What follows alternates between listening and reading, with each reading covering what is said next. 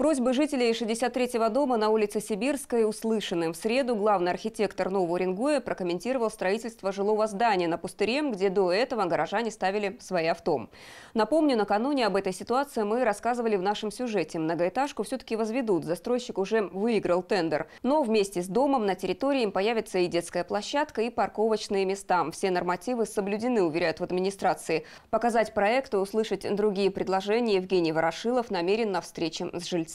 У нас есть э, очень строгие э, нормативы градостроительного проектирования для земельных участков, предусмотренных под строительство. Никакой сверхплотной застройки там речи быть не может.